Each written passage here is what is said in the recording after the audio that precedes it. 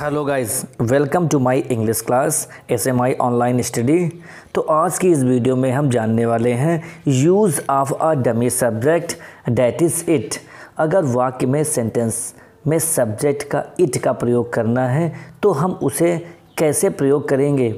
तो इसके लिए पहले हम कुछ सेंटेंसेस को देखते हैं। जैसे पहला सेंटेंस है, मेरी घड़ी में अब दो बजे हैं। कल रात बड़ी सर्दी थी। आज का दिन बड़ा सुहावना है। सबको प्रसन्न करना कठिन है। अगर ऐसे सेंटेंसेस आपको मिल जाए तो आपको क्या करना है? तो सिंपल आपको समझ लेना है कि इन सेंटेंसेस में एक सब्जेक्ट का यूज़ करना है जो कि डमी सब्जेक्ट होगा इट मतलब इसमें हमें इट का यूज़ करना है। तो पहले हम जानते हैं कि इसके लिए हमें कौन कौन से रूल्स को फॉलो सिंपल तरीके से हम समझेंगे कि वाक्यों में इट का यूज़ सब्जेक्ट के रूप में कैसे होगा। तो इसके लिए कुछ सिंपल से थोड़े से रूल्स हैं जिन्हें हमें समझ लेना है। और अगर ये सेंटेंसेस ऐसे मिले आपको तो सेंटेंस में हमेशा सब्जेक्ट इट का ही यूज़ करना है। तो रूल्स को समझते हैं रूल्स क्या हैं?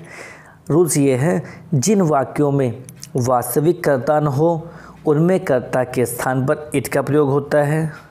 सेकेंड पॉइंट ये भी है, जिन वाक्यों में समय, दिन, मौसम, वर्षा, प्राकृतिक घटना का वर्णन हो अथवा बात पर ज़ोर दिया जाए तो उस सेंटेंस को इट से प्रारंभ करते हैं। इसे हम ऐसे भी समझ सकते हैं कि जिन वाक्यों में वर्षा ऋतु, दिन, समय, गर्मी, सर्दी का अंग्रेज़ी अनुवाद करते समय वाक्य के आरंभ में इट लगाओ। अगर हम इट का प्रयोग कर देते हैं तो हमारा सेंटेंस बहुत ही आसानी से बन जाएगा। जैसे हम सब्जेक्ट देखते हैं या सेंटेंसेस को कुछ देखते हैं, जैसे चार बजे हैं, चार बजे हैं तो इस सेंटेंस में सब्जेक्ट चार बजे हैं, अगर हम लिख दें चार बजे हैं फोर ओ क्लाक तो सेंटेंस हमारा हो जाएगा गलत। इस सेंटेंस में समय इंडिकेशन टाइम को दिया गया है। चार बजे हैं तो हमारा करेक्ट सेंटेंस बनेगा। सब्जेक्ट ना होने पर हम डमी सब्जेक्ट इट को रखेंगे।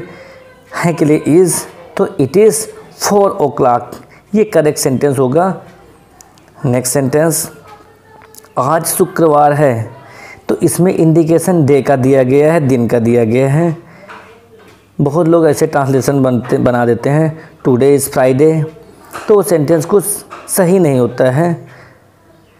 तो ऐसे सेंटेंस को हम लोग बनाएँगे इट से बनाएँगे। आज शुक्रवार है।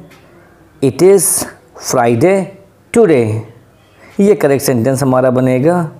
नेक्स्ट सेंटेंस अगर हम देखें। नेक्स्ट सेंटेंस है। वर्षा ज़ोर से हो रही है। अगर इस सेंटेंस को देखें हम तो रहा रही का प्रेजेंट कंटिन्यूस टेंस में ही हम इसे बनाएँगे। इस सेंटेंस की स्टार्टिंग इट से होगी। इट इज़ हो रही है present continuous tense it is raining heavily it is raining heavily next sentence अंधेरा हो रहा है। सेंटेंस क्या है? अंधेरा हो रहा है। हो रहा है। तो अंधेरा हो रहा है। इस सेंटेंस में एक प्राकृतिक घटना का वर्णन किया गया है। तो इस सेंटेंस में क्या है? प्राकृतिक घटना है। अंधेरा डार्क हो रहा है। ग्रोइंग या गेटिंग डार्क गेटिंग तो सेंटेंस हमारा इनकरेक्ट हो जाएगा। अगर सर हम बना दिए तो। तो हम सेंटेंस कैसे बनाएँगे? सब्जेक्ट इट को रखकर। इट इज़ गेटिंग डार्क या इट इज़ ग्रोइंग डार्क तो इस तरह से सेंटेंस बहुत ही आसानी से हम बना लेंगे और हमारा सेंटेंस भी इनकरेक्ट नहीं होगा। नेक्स्ट सेंटेंस आज गर्मी है। आज गर्मी है। आज today is hot today is hot sentence हमारा क्या हो गया? इनकरेक्ट इस सेंटेंस में हमने क्या रखा? सेंटेंस में हमने देखा, इस सेंटेंस में मौसम के बारे में बताया गया है। तो हम मैंने रूल में जैसे आपको बताया कि अगर वाक्यों में दिन, समय, मौसम, घटना प्राकृतिक घटना, वर्षा, ये सभी हों तो वहाँ पर हमेशा सब्जेक्ट इट का यूज़ किया जाता है। तो इट से अगर हम सेंटेंस बना रहे हैं इट तो आज गर्मी है तो इट इज़ हॉट टुडे तो हमारा ये करेक्ट सेंटेंस बनेगा। इसी तरह हम नेक्स्ट सेंटेंस को देखते हैं। कल बादल था, किंतु आज दिन अच्छा है। कल बादल था, किंतु आज दिन अच्छा है। इस सेंटेंस में क्या बताया गया है? कल बादल था, दिन अच्छा है तो इसमें क्या है? किसी ऋतु के बारे में बताया गया है। तो अगर ऋतु है तो ऋतु के बारे में जैसे कल बादल हो गया था साफ़ हो गया दिन। तो इसमें अगर हम सेंटेंस फिर स्टार्टिंग अगर ऐसे कर दे रहे हैं डे वाज क्लाउडी तो फिर सेंटेंस हमारा अच्छा नहीं होगा। तो हम लोग सब्जेक्ट से ही शुरू करेंगे। कल बादल था इट वाज सब्जेक्ट में रखा इट था के लिए वॉस इट वाज बादल क्लाउडी कल यस्टरडे पास्ट की बात हुई। इट वाज क्लाउडी यस्टरडे किंतु किंतु के लिए होगा बट आज दिन अच्छा है but it is fine today fine means अच्छा टुडे माने आज। तो कंप्लीट सेंटेंस हमारा बन जाएगा। It is it was cloudy yesterday but it is fine today next sentence जैसे हम देखते हैं, ये यह मैं ही था जिसने यह कार्य किया। यह मैं ही था जिसने यह कार्य किया। तो इस अगर सेंटेंस को हम देखें तो इस सेंटेंस में जो है, किसी बात पर बल या ज़ोर दिया गया है। ये मैं ही था दिस इज़ ना तो अपने अपने आप को इंडिकेशन दिया गया कि मैं ही था, जिसने कार्य किया मतलब चाहे उसने अच्छा किया हो, चाहे ख़राब किया उसने अपनी बात पर प्रेशर दिया है।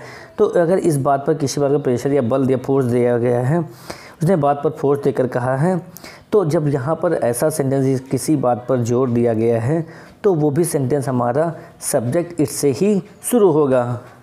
तो सेंटेंस की स्टार्टिंग होगी इट से। पहले आधे सेंटेंस को अलग बनाएँगे, आधे को अलग। दो सेंटेंसेस क्लासेस में दो हैं, इसलिए दो क्लासेस को अलग अलग करके एक में जोड़ दिया जाएगा। ये हमारे कॉम्प्लेक्स सेंटेंस बनेगा। यह मैं ही था जिसने यह कार्य किया। यह मैं ही था। इट वॉस आई जिसने हु कंजक्शन यहाँ रख दिया गया who it was I who किया पास इंडेफिनिट हु किया डू की past form did it was I who did this work it was आई who did this work. Next sentence झूठ बोलना पाप है। झूठ बोलना पाप है। तो इस बात पर क्या है? ज़ोर दिया गया है, किस बताया गया है, प्रेशर है कि झूठ बोलना पाप है है ना? तो ये सही भी है, अगर झूठ बोलना पाप है तो सेंटेंस को झूठ बोलना अगर से हम लोग बना दे, झूठ बोलना झूठ बोलना लाई बोलना स्पीक पाप सिन तो सेंटेंस हम ऐसे बनाएँगे तो फिर अच्छा नहीं बनेगा, गलत हो जाएगा इनकरेक्ट हो जाएगा। तो इस सेंटेंस को हम लोग सब्जेक्ट इट कर, रख कर ही बनाएँगे। पहले इट सब्जेक्ट उसके बाद वर्ब इज़ इट इज़ पाप। पाप के लिए होगा सिन इट इज़ सिन बोलना टू टेल इन्फिनिटिव का यूज़ कर दिया गया। बोलना ना नीने के लिए। टू टेल जैसे आपने प्रीवियस वीडियो में देखा भी है। It is sin to tell बोलना झूठ, अलाई। तो कंप्लीट सेंटेंस बना। It is sin to tell all I तो इस तरीके से अगर आप जैसे सेंटेंसेस को बना ले रहे हैं तो बहुत ही आसानी को सेंटेंस को आप समझ करके, चाहे जैसा भी कठिन सेंटेंस क्यों ना हो, बहुत ही डमी सब्जेक्ट इट को रखकर आप बना सकते हैं। तो जो अब मैंने सेंटेंसेस आपको बताए, मेरी घड़ी में अब दो बजे हैं। कल रात बड़ी सर्दी थी, आज का दिन सुहावना है। आज का दिन सुहावना है, सबको पसंद करना कठिन है। ऐसे सेंटेंस भी आप बहुत आसानी से बना करके कमेंट बॉक्स में ज़रूर डालिए। और जो लोग चैनल पहली बार हैं, वो चैनल को सब्सक्राइब करके वीडियो को शेयर ज़रूर करें। Okay thanks for watching